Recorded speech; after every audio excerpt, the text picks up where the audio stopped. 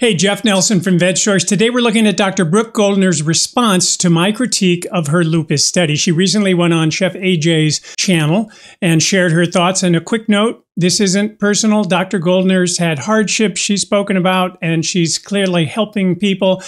Selling programs, I'm totally fine with that. Everyone's got to make a living. But when those programs are marketed as being backed by science, I think it's fair game to ask does the science actually hold up? And that's what I've been doing here. I see so many people who cause the greatest amount of problems in their life because they are more determined to be right than they are to be healthy, to be happy. Uh, they just will kind of dig in rather than be open, be curious. And when we can release the need to be right and be open and curious, we start to evolve and become more wise and more well and more healthy and you know, that's really what I encourage in people. This is a framing Dr. Goldner uses repeatedly. If you question her claims, you're in your ego, you are not curious. But skepticism, that isn't ego. It's the foundation of science. And asking questions like, does unlimited flax oil really make you lose weight? Yeah, that isn't being closed minded. It's how progress is made by questioning. And Dr. Goldner's framing critics as ego driven is a classic deflection. It's one even con artists use to dodge scrutiny. I'm not saying Dr. Goldner is a con artist, but it's the same rhetorical move. Make skepticism the villain instead of answering the question. You can have uh, really unlimited amounts of omega 3 fatty acids from chia and flax, and they will also only accelerate fat loss. Omega 3 fatty acids, even though they are a fat, they can't become body fat. And so he put people, he put people on the oil version. It's a lot easier to titrate. He had some people up to thousands of calories just of omega 3s alone. Thousands. The higher the dose of omega 3, the faster the fat loss with no limiter. That's an extraordinary claim. And extraordinary claims require extraordinary evidence. So, what evidence do we have? Not published peer reviewed studies, not independent replication, just testimonials. Actual research on omega 3s and weight is mixed. Here's a 2015 study found omega 3s may reduce belly fat, but didn't show weight loss overall. A 2021 review of 20 studies found inconsistent effects. No study supports unlimited omega 3 consumption without weight gain because calories still matter. So I don't fight I, I, results versus assumptions.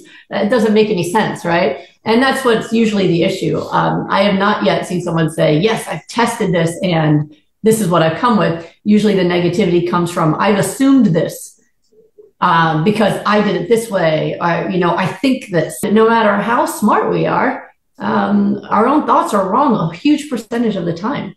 When we realize we're wrong a lot, then we can stay more open and more curious. I only teach from results.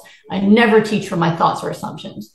Dr. Goldner contrasts her so called results with critics' assumptions, but her results are uncontrolled testimonials and case reports. They're useful for generating hypotheses, maybe, but they're not scientific proof of efficacy. So we've seen this pattern before. Joel Fuhrman published a similar study years ago that I've deconstructed uh, in another video, which I'll put in the description, a link to it. But Dr. Fuhrman's heart disease reversal study turned out to be an anonymous online survey. There was no verification, no follow up, not even confirmation that the people answering were actual patients or actual people. And he drew a lot of conclusions about how great his diet was based on this survey monkey style anonymous questionnaire. He also included six case studies, six stories about his top patients, just like Dr. Goldner has with her three stories, and to show how well his program worked. And here's a kicker one of Dr. Fuhrman's showcase success stories a woman celebrated as proof that his diet reversed heart disease. And she actually died in her sleep of what appeared to be heart disease six months before the study was published yet she was still included as a big success story. So, this is the danger in relying on self reported anecdotes, doctors telling you about their star patients. They make for great, you know, marketing copy, but they're not rigorous science. And Dr. Goldner's three person case series with no controls, no follow up, very little data, it falls into the exact same trap because Jane is asking, and it makes sense to me. For example, if you were to eat 500 calories of flaxseed, then you will not gain weight, even if that's 500 calories more than you would need a day? Yes. Wow. Because the calorie model is actually outdated and not a useful indication of how somebody is going to um, metabolize their food. Not everything you eat can become fat. I can eat 10,000 calories of kale. I'm not going to gain an ounce. Why? Because you can't turn kale into fat. It's true that calorie counting isn't perfect. Different foods are metabolized differently, but calling calories outdated that is misleading. That's a massive calorie surplus still leads to weight gain. Sure, 10,000 calories of kale, which is an exaggeration. That's over 400 pounds of kale. But the underlying claim that some foods are immune to weight gain, that flies in the face of basic thermodynamics and decades of nutrition research. So statements like this risk misleading people who are already struggling with weight. And ironically, Chef AJ herself takes the opposite approach from Goldner. Her own program is built around calorie density, not ignoring calories. She teaches volumetrics, as she sometimes calls it. And AJ even tried Dr. Fuhrman's higher fat program for years, some years back, and she couldn't lose the weight that she wanted. And only when she switched to McDougall's low fat calorie density approach, thanks, I think, to Doug Lisle, did she lose the weight and improve her health. And that's what inspired her to create her own books and program around those same principles. Remember, AJ platforms lots of different voices, whether it's Fuhrman, Goldner, McDougall when he was alive. And that doesn't mean she endorses all their protocols. She interviews uh, everyone, even when she disagrees with them. I've known AJ for 24 years. I introduced her to McDougall in 2001. She comes to my birthday parties.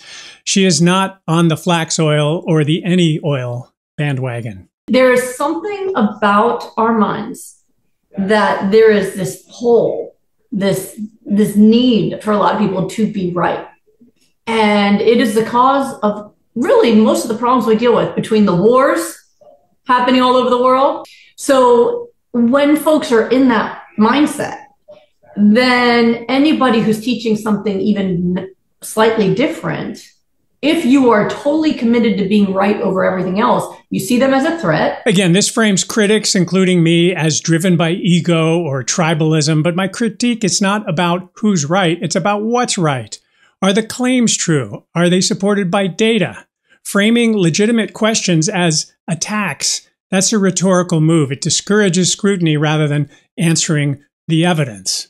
I've also heard a fascinating claim from someone I trust in the plant based world. This person said that three people who tried both Dr. Goldner's smoothie protocol and True North's water fasting with Dr. Alan Goldhamer, all three of them told my friend that their lab numbers improved more with Goldner than with Goldhamer.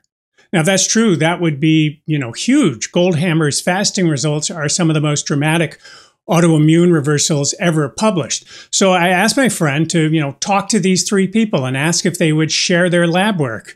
Anonymized, you know, redacted, even just directly with Goldhamer, not with me. And so that we could compare pre and post water fasting with pre and post Goldner, because that kind of data could be groundbreaking. But here's what happened when we dug in two of the supposed three people who did both water fasting and Goldner's approach.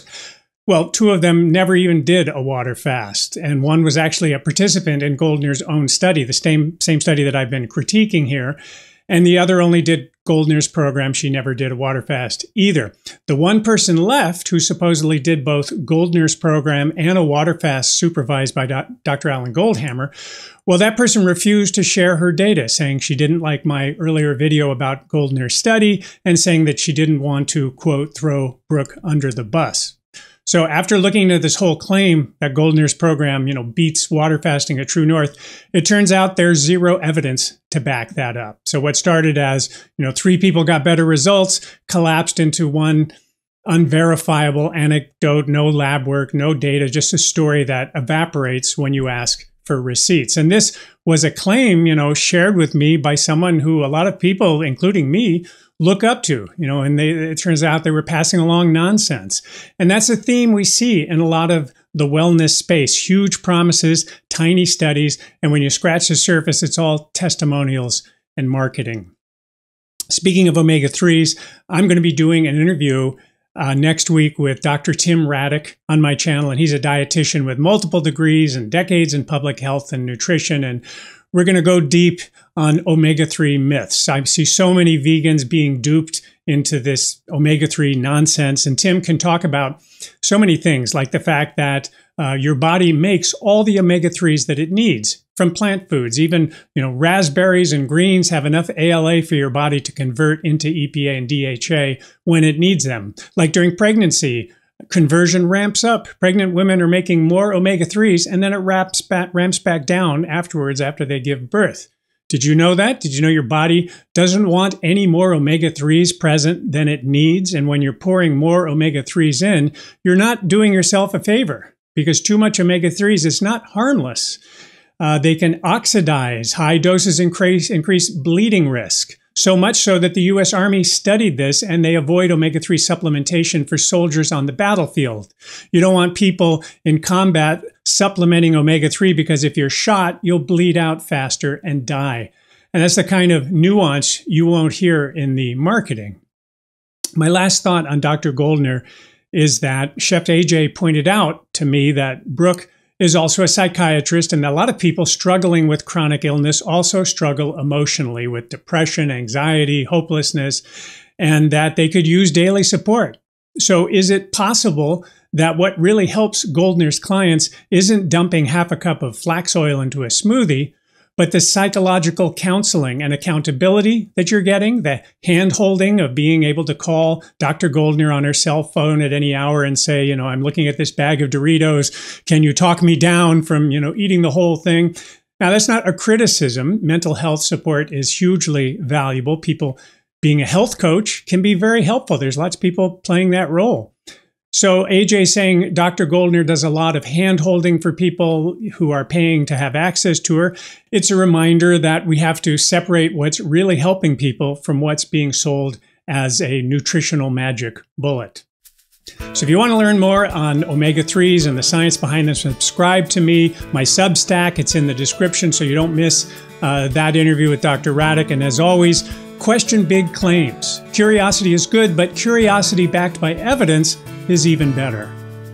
All right, thanks for watching. If you found the breakdown useful, hit like, share it with someone who's curious about these programs, and check the description for links into my deeper dive into Dr. Fuhrman's study and other videos on plant-based nutrition myths. And if you've tried either Dr. Goldner's or the True North, True North Health Program fasting and actually have lab results to share, I'd love to hear from you in the comments. See you on the next one.